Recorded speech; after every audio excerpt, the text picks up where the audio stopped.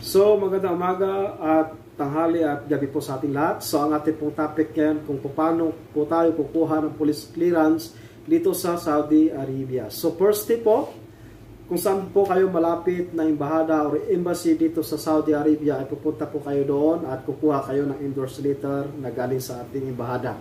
So, kung mayroon na po kayo noon, ay pupusit kayo sa second step papunta po ng MUPA. So, ang gagawin po ninyo sa MUPA, ay magpapa-online po kayo doon sa MUPA. So, kung alam nyo naman po ang website ng MUPA, ay pwede po kayong kayo na lang po mag-online. So, ang gagawin nyo po, mag-online kayo doon, uh, gamit ng inyong, kung mayroon po kayong credit card, ay pwede nyong babayaran doon. So, nagkakalaga po siya ng 30 reals po. So, ngayon ay, uh, kung hindi nyo naman po alam kung paano po uh, mag-online, mayroon din po sa labas po ng MUPA, mayroon po nag-online doon. So, ang babayaran po natin doon ay 50 real.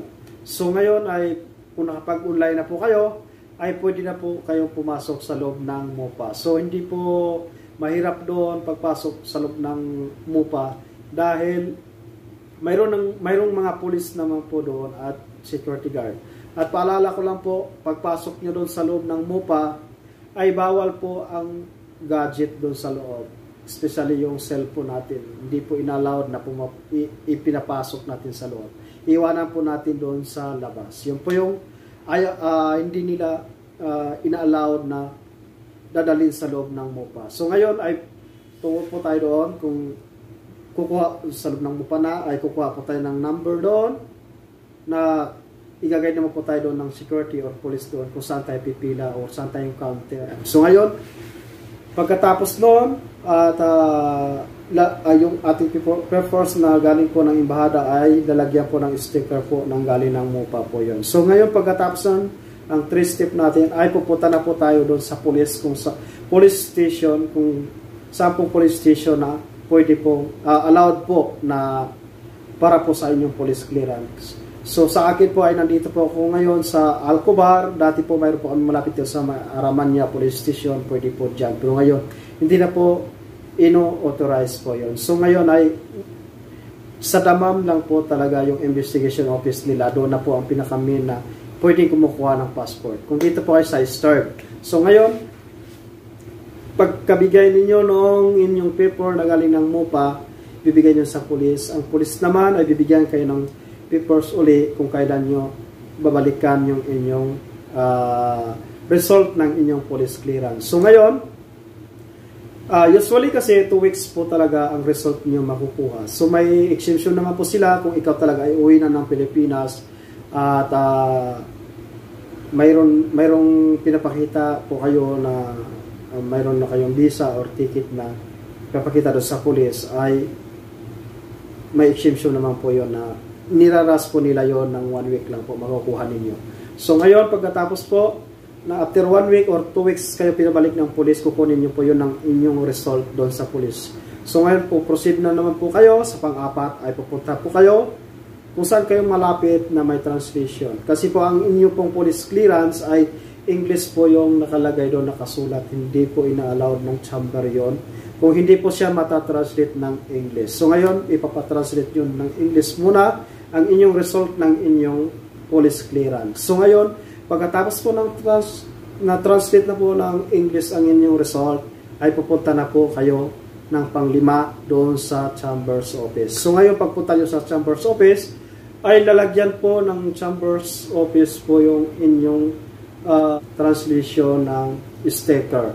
Pagkatapos doon, nalagyan na po ng Chambers Office yung inyong translation na sticker pupunta na naman po kayo uli sa MUPA. So ngayon ay gagawin nyo naman uli sa MUPA, ganun pa rin po ang inyong gagawin. Magpapa-online muna kayo doon sa labas o kung alam nyo naman po kung paano mag-online. Kung kayo na po ang gusto mag-online, pwede naman po, may website po sila. So ngayon, pagkatapos na po noon ay nakapag-online na po kayo, ay papasok naman po kayo uli sa loob ng MOPA. Inuulit ko po, bawal po ang gadget po sa loob ng MOPA. Kung mayroon kayong daladalang cellphone, hindi po ina-allowed sa loob ng MOPA yun. So ngayon, iiwanan nyo. So ngayon, pagpasok na naman sa MOPA uli, ganun pa rin ang proseso po. Kukuha kayo number doon sa loob ng MOPA At huwag kayong mag-alala, kagaya ng sinasabi ko, may pulis po doon sa loob at mayroon pong security guard na mag-assist po sa inyo. Kung saan po kayong na uh, counter na pwede magbayad. So ngayon, ay no, no, no. Inuulit ko po at uh, sorry po sa lahat ay wala po tayong babayaran sa loob ng MUPA. Yun lang po. Yung sticker na ilalagay, uh, ibibigay sa inyo ng MUPA. Yun lang po. So ngayon ay mayroon na po kayo noon na stickeran na po ng MUPA ay wala na po tayong ibang gagawin kung di, yun na po yun siya. Uh, one year na po yun, na-validate na po ng one year yun. Pwede na po natin gamitin, mag-apply na po tayo.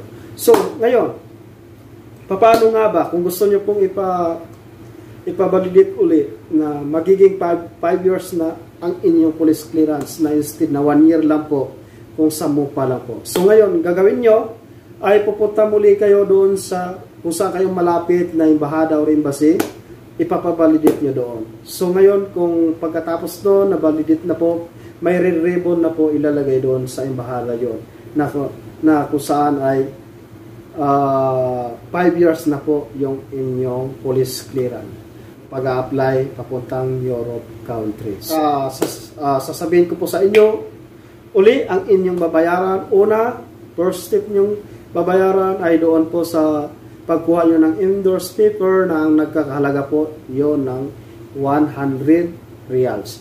Pangalawa, ang babayaran nyo sa online ng MOPA ay kung kayo mismo ang mag-online ay 30 reals lang po yon. So kung hindi nyo alam kung doon kayo magpapa-online mismo sa MOPA ay 50 reals po yon. Pangatlong babayaran nyo, magpapa-translate kayo ng inyong police clearance. So nagkakalaga po yon ng uh, depende po sa lugar ninyo kung magkano po. Sa dito sa amin ay nakuha ko pa, nakuha ko lang po siya ng 35 reals do sa translation. Pangat pang-apat, so pang-apat ay uh, doon po sa Chambers Office ay ang babayaran po natin doon ay 25 reals po. So ngayon, ang panglima, ang panglima po natin ay hindi, well, ang pang yes, panglima po natin ay babalik po tayo muli sa MUPA na magpapa-online. So kagaya na sinasabi ko, kung kayo mag-online mismo ay 35 at uh, 30 reals lang po yun. Kung silang mag-online doon sa labas ay 50 reals. So ngayon, kung gusto nyo ipapabalidate na magiging 5 years yung inyong police clearance, ay magbabayad kayo uli doon sa imbahada or embassy. Ang babayaran nyo doon ay 100 reals ulit. So, amount total po sa lahat ng inyong babayaran sa pagkuha ng police clearance ay 355 reals po. Yun lang po ang babayaran ninyo. So, include, uh, labas po doon yung inyong mga pamasahe, pamasahe. Yun lang yung babayaran nyo. So, kung saan man kayo, mamasahe-masahe kayo or pabalik-balik pa doon kung uh, kagaya, kagaya ko, pinababalik-balik pa ako So medyo nataasan po ako doon sa aking uh, aking pamasahe. Katulad ko na wala akong sariling sasakyan talaga. So mabuti na lang may kaibigan ako uh, kapatid namin sa aming church na si Kuya Tim Umawas. Uh, shout out sa bro at uh, mabuhay ka. Salamat sa iyong tulong sa akin. Yun lang po at uh, magandang gabi or tanghali or umaga pala, nauna po yung gabi at tanghali, magandang umaga.